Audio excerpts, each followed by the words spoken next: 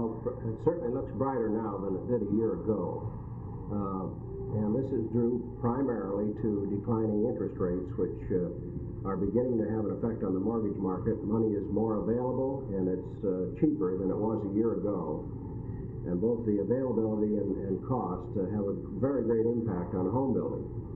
So that, uh, uh, that plus a number of federal programs designed to stimulate housing programs, uh, housing construction, residential uh, construction of all types, uh, makes for a very much brighter outlook this year than was true a year ago.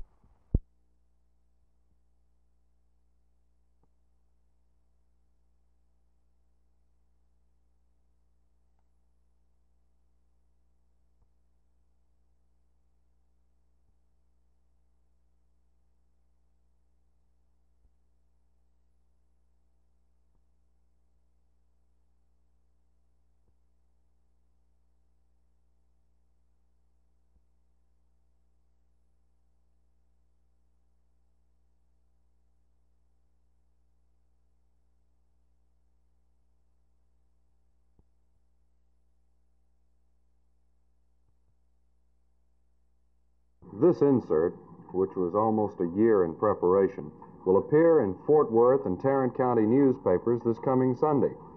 It indicates various areas of the city, maps for those areas, and fallout shelters in those areas. I talked to Fort Worth Tarrant County Civil Defense Coordinator Robert Lord and asked him how Fort Worth stands. How many people can we save? We have located and identified shelter for about 83% of the population of Tarrant County. Uh, unfortunately, uh, the 17% represents uh, considerably over 100,000 people. This is what worries us. Uh, there are areas in Tarrant County that are deficient that do not have shelter. Uh, this worries us, but we feel it is our responsibility to explain to the public of Tarrant County that there is a lot of shelter, but uh, not nearly enough. Well, you say you've got shelter for 83%. Now, is that a theoretical figure? No, that's a, that's a surveyed figure by professional engineers. This means that buildings are in the county that will pro- provide uh, adequate shelter from gamma radiation for 83% of the population. All is not yet perfect. Some of the shelters are not in convenient areas of the city, and some of them are not equipped with food, drinking water, and other supplies for survival. But it is a start, and it is an ongoing program. Mr. Lord advises that families who receive this shelter plan cut it out and save it along with other important papers. Saving this could save your life. Jay Lewis, Channel 8 News on the Move, Fort Worth.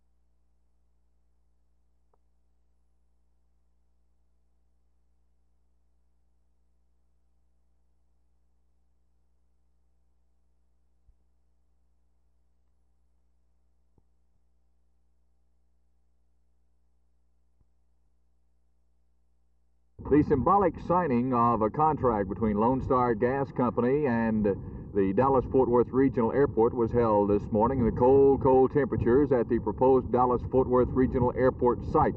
Signing for Lone Star Gas Company was Mr. George Peck, Vice President of the corporation.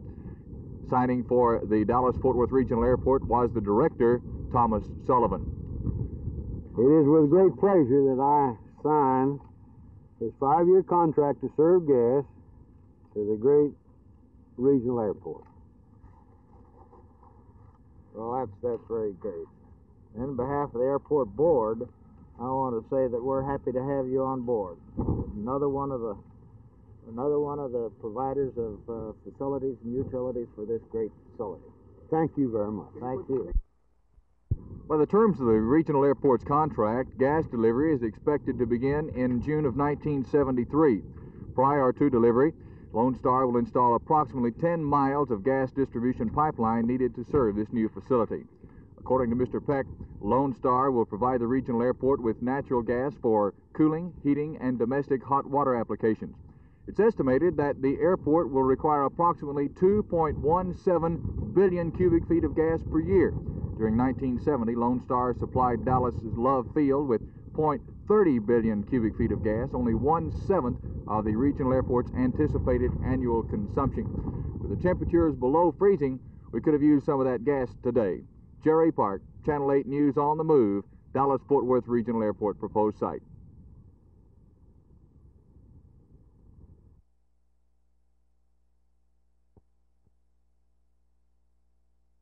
Early in December, we received bids on five schools to be air conditioned. One of them was within budget, and four were over budget.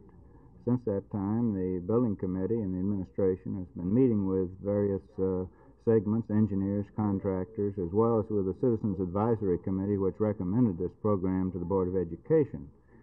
It is now apparent that uh, with some adjustments in the specifications, all of the buildings could be brought in within budget, and we expect to recommend to the board on January 27th that the bids uh, can be accepted or they will have to be put out for rebid in accordance with new specifications. Hopefully, there will be no delay from that point on in the entire program as outlined.